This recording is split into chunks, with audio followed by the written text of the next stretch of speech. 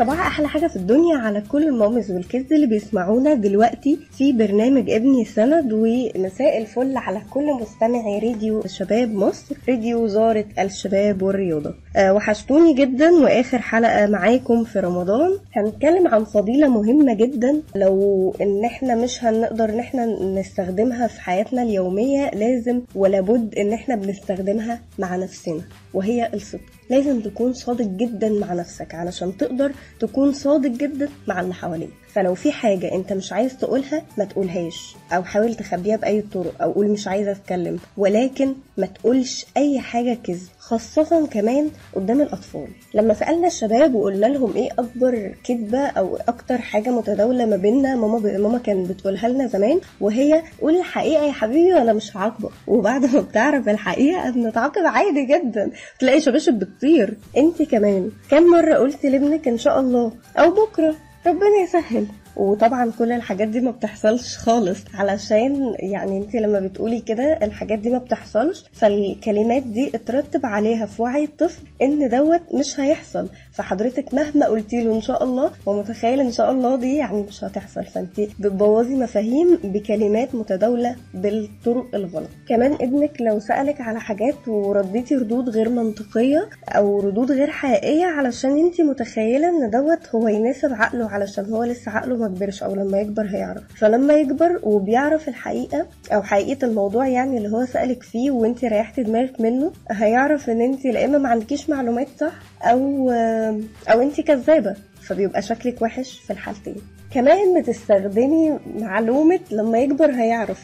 وهو صغير عادي على فكرة هيعرف برضو. بس وصلي له المعلومة عن طريق إن هو عقله يستقبله بيه. آه ألو؟ إيه يا أنا خلاص بلبس الكوتشي آه آه. أنا بس خلصت كام مشوار كده وبعدين يعني روحت عشان آكل وخلاص يعني نازلة دلوقتي. okay bye bye. مكالمة بلبس الكوتشي وأنا كنت بعمل حاجات وأنا بقى البطل الخارق والحاجات اللي إحنا أوقات بنستخدمها دي. ده غلط جدا ان هو يحصل قدام الأطفال. فلو هتتكلمي مكالمة إن انت هتقولي فيها حاجة مش صح أو الطفل شايف عكسها يا ريت ما تتكلميهاش قدامه. وعلشان كده سؤال حلقتنا دلوقتي رحنا نسأل الناس لو حد كذب عليك تقدر إن أنت تثق فيه تاني؟ أو هتعامله في حياتك زي ما هو ولا الثقة بتاعتك هتقل ولا هتقطع معاه خالص؟ تعالوا نشوف رأي الناس ونرجع لكم مرة تانية. لا بصي أنا أنا من الناس اللي لا أنا بسامح وبسامح وبنسى أساسا إيه اللي حصل لي. وبرجع تاني زي الأول وعارفة اللي هو إيه من كتر لما أنا ببقى مسامحة أنا بستغرب أنا بستغرب نفسي من إيه لو أنا بس أنا مش طيبة مش طيبة الطيبة دي. بس أنا بستغرب نفسي اللي أنا بوصل لدرجة اللي أنا كنت مأذية اذى بشع يعني. وعلى فكرة الكلام ده حصل لي من يومين يعني. وبرجع أكن مفيش حاجة مجرد أما البني آدم اللي قدامي يكلمني أنا ولا أكن في حاجة. فلا أنا بسامح. وكمان عشان حاجة. أنا مش عايزة أبقى عارفة انت مش عايزة ابقى قلبي أسود من كتر ما هشيل من الناس أو مش هسامحهم. أنا هبقى قلبي مش مش حاسة إن أنا هبقى قلبي فيه عارفة إن النظافة الطبيعية اللي إحنا مخلوقين بيها دي مش تبقى موجودة فيا فلازم أسامح. بس بسامح وأنا راضية مش بسامح غصب عني بسامح وأنا راضية. يعني ببقى خلاص أنا قلت مسامحة يبقى أنا فعلا مسامحة.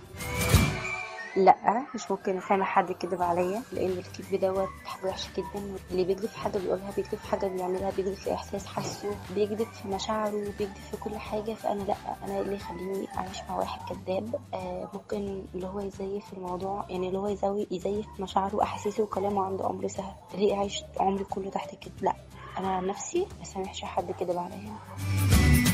إيه لا الصراحة لو حد كذب علي إيه ما أقدرش أسامحه. إيه ليه؟ عشان هو كذب. ال- اللي يكذب مرة سهل يكذب على كده. فطبيعي جدا أنا مش هصدقه في أي حاجة لأن هو كذب. فسهل جدا يكذب عليا بعد كده. وخصوصا إن في بعض الأحيان الكذب ده بيبان. بيبان بقى بطرق مختلفة. أشخاص تقع بالكلام مواقف أو كده. فأنا بالنسبة لي لو حد كذب عليا مش هقدر أسامحه. آه، التعامل هيقل هيقل هيقل. بقى أنا خلاص أنا عرفت خلاص أنا زي ما بقول لك صاحبك عل- علمت عليا. آه، بس ده وجهة نظري يعني. آه، خلاص مش هثق فيه مش هيبقى فيه ثقة. يعني أنا بحب أنا واحدة من الأشخاص بحب الناس الواضحة الصريحة. اللي بيكذب ده بالنسبة لي هو ما يستحقش الثقة اللي أنا اديتها له إن هو كذب عليا. خصوصا بقى لما الحقيقة بتبان. بتبان بقى بطريقة غير مباشرة. على حسب هي حاجة صغيرة ولا كبيرة على حسب الشخص نفسه ده هو غالي عندي ولا لأ. وإن لو كده بقدر أعديها وأسامحه عشان هو غالي عندي ولا لأ. بس حتى لو سامحته أكيد أحط شروط. فليه بقى هسامحه؟ عشان كلنا بنغلط يعني محدش فينا ملاك وربنا نفسه بيسامح. إحنا كبني آدمين مش هنسامح بعض. أنا هسامح لو الشخص ده قريب مني لأن بالطبيعي لو هو قريب مني أنا هقدر أدي مبرر لأي كذب بيعمله. فهسامحه لكن لو الشخص ده مش قريب قوي ما أعتقدش إن هعرف أسامحه لأني مش هقدر أثق فيه بعد كده. هو بالنسبة للكذب بشكل عام أصلا بتفرق بصراحة يعني آه على حسب الشخص. يعني أنا لو شخص عزيز عليا جدا وكذب عليا بزعل. آه، لكن شخص مش عزيز عليا وعادي يعني وكذب عليا. أنا أصلا في الوقت ده أنا أصلا يعني مش هصرحه أساسا إن هو كذب عليا وألومه أو كده لأن هو أصلا مش شخص عزيز عليا ولا شخص يفرق في حياتي. ف... فبالنسبة لي الموضوع يعني لأ عادي. ما يكذب يعني براحته. هو حد مش أساسي في حياتي ومش هيأثر في حياتي خلاص أوكي. لكن لو حد عزيز عليا قوي و... وعمل معايا الحركة دي أكيد بزعل و... وبلومه و... ولو الموضوع اتكرر بصراحة يعني إيه، مكانته بتقل عندي. الصراحة إيه لو حد كذب عليا هزعل منه يوم أو اتنين وبعد كده هسامحه. بس.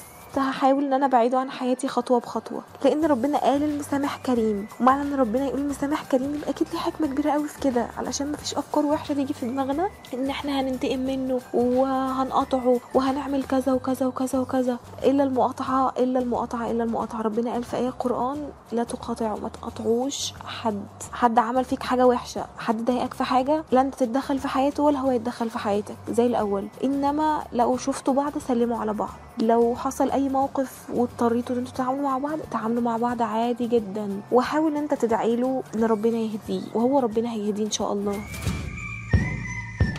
ورجعنا لكم مرة تانية ولسه مكملين ومعاكم آية رمضان في برنامج ابني سند. دلوقتي وصلنا إزاي إن إحنا نعلم الطفل بتاعنا الصدق من وهو صغير علشان يكبر بهذا النهج وبهذا المفهوم. لازم الأهالي هم نفسهم يكونوا صادقين جدا قدام أطفالهم لأن هم القدوة الأولى زي ما متفقين إن الطفل بيشوف وبيتعلم. قبل ما بيسمع وبيتعلم. كمان أسئلة الأطفال كتير جدا بس إياك تجاوب إجابة ما تكونش منطقية أو تكون فيها كذبة ولو كانت بنسبة صغيرة. لو ما تعرفش المعلومة قوله يلا بينا ندور سوا ونشوف مع بعض إيه اللي ممكن نطلعه معلومة إن إحنا نستفادها إحنا الاتنين. كمان نركز جدا مع أطفالنا مع كل كلام اللي هما بيقولوه والتصرف قدر المستطاع إن إحنا نشوف كل حاجة هما بيقولوها إيه فيها مش صح ونبدأ إن إحنا نصلحه. في حاجات ما بتكونش كذبة علشان هو الطفل هو مش عارف إمتى يكون كذاب علشان في حاجات يعني بيبدأ من الواقع وبعدين خياله بيكبر منه. فدي خيالات وليس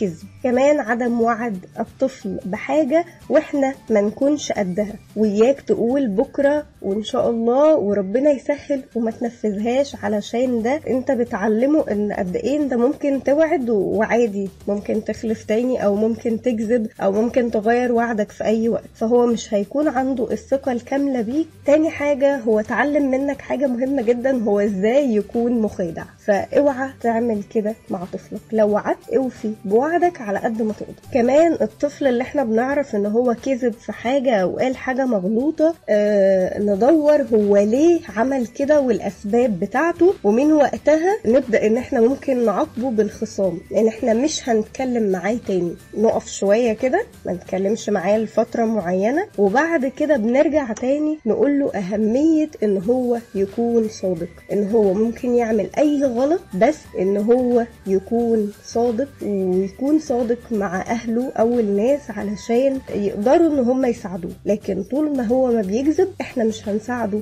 في أي حاجة. ونقدر إن إحنا نعاقبه شوية إن إحنا نخصمه شوية وبعد كده بنقعد نتكلم معاه ونفهمه أهمية إن هو يكون صادق. سواء بقى بكرتون سواء بأغاني سواء بفيديو سواء بقصة سواء بحاجات كتير جدا ممكن نعلمه بيها إزاي يكون صادق قولا وفعلا. وبكده وصلنا لآخر حلقتنا. كانت معاكم آية رمضان في برنامج ابني سند. والسلام عليكم ورحمة الله وبركاته. هتوحشوني وهستناكم ال season الجاي. bye bye.